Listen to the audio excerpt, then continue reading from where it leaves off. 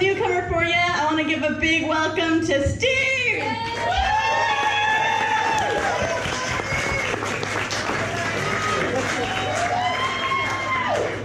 Steve Burgess, everybody.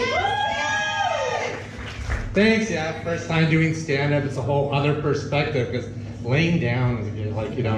Anyway, I'm gonna I'm gonna tell you about my friend uh, Joey, which is his not it's not his real name.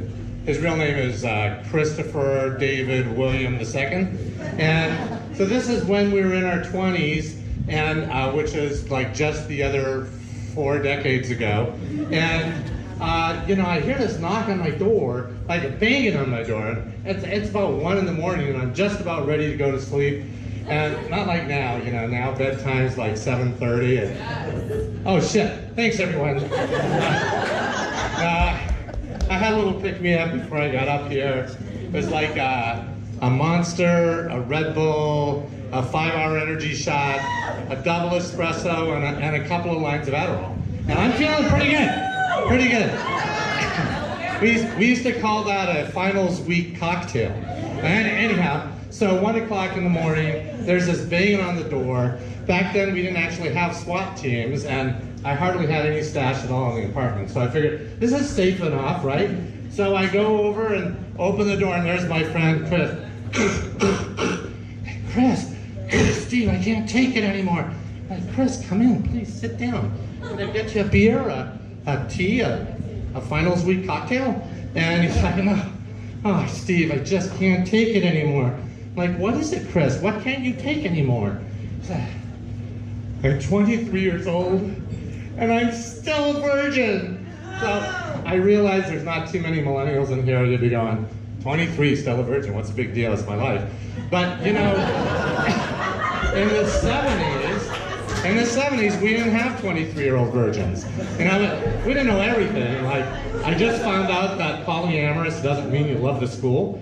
But anyway, so he's he's sitting there. I can't take it anymore. I said, Chris, well, you know, I'd like to help you out. But what can I do? He says, Tell me what to do.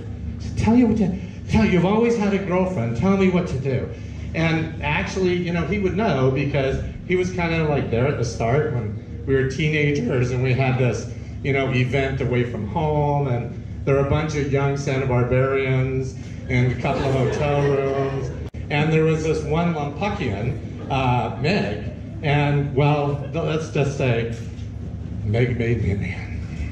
And it was that night Meg made me a man. But the next morning, you know, Meg and I are under the covers, you know, cuddling, and uh, and Chris is across the room uh, on the couch, and he's like, guys, I gotta take a whiz.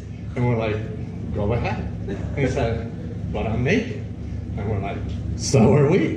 And, oh, that was loud. And, and so he goes, all right, I'm getting, I'm gonna go. And he jumps out of, out of the couch and he walks across graciously, gracefully across that, uh, you know. We're, but I just wanted to say that that is evidence that, you know, he knew me from before. So he's like, you always had a girl, tell me what to do. Well, Chris, brush your teeth. Because he had that, like, you could cut through with your fingernail kind of teeth, and brush your teeth, take it, eat up. And, and, uh, and I said, you know, take a shower, and, you know, get some clean clothes. Go to the free box and get some clean clothes out of there. And, and also those pants, I realized he was probably actually forward thinking this doesn't make sense to a modern audience, but I'm like, get some pants that aren't all shredded and don't hang off your ass. He's like, okay, I'll do it, I'll do it. Uh, tell me what to say. Said, tell you what to say. And I'm thinking, well, you know, you just kind of get comfortable with a lady. So I said, well, Chris, you know, what you do is you just be yourself. He says, I don't want to be myself. I'm tired of being myself. Being myself doesn't work. Tell me what to say. I'm like, oh, geez, you know. So I think back to a time when, you know, a conversation led to being in the sack. So I just like think of that conversation. I tell him word for word. And look, honestly, aside, I don't know who's more pathetic here. Chris, who's at least honest about his patheticism, or you know, Steve Burgess, who thinks he knows how to talk to women. But anyway, he, he says, okay, I'll do it, I'll do it. And he goes off, thanks, you're a pal, I love you. So a couple of weeks later, I'm working in a New York Hero House, a sandwich shop in Isla Vista, and what you know, making the sandwiches. And uh, and who do I see walking down the street? It's somebody who looks really familiar. And I, oh my God, it's Chris.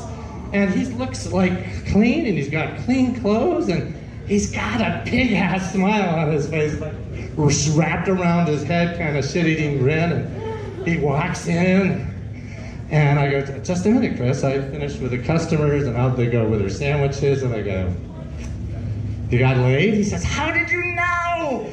I just some kind of intuition. So tell me, tell me what happened. So like, why is that a party? And I did just what you said, and I said just what you said to say, and I'm dying inside. But anyway, he says, and it worked. I, I went to a party and I got laid, and we're still hanging out. I said, well, bring her in, you know? So he comes in the next day, and with this young lady, he's looking clean, and she's looking, you know, clean. And, and uh, and uh, they, they share an eggplant parmesan sandwich, and he pays for half of it. I'm thinking, this must be true love, because I've never seen him pay for anything in his life. I've never seen him pay for half of anything in his life.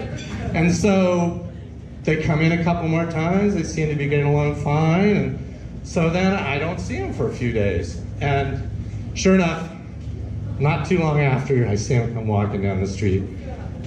And, uh, he doesn't look too good. And, uh, I'm like, Chris, what's the deal? What what happens? Me and Meg. I'm sorry, Meg's mine. Me and Kim. He wasn't with Meg. Me and Kim. We broke up. I'm like, oh, dude, I'm sorry. What happened? He says, she was just using me for sex.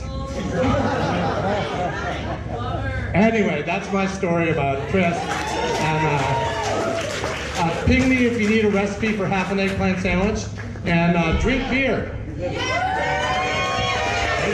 Give it up for Steve Burgess.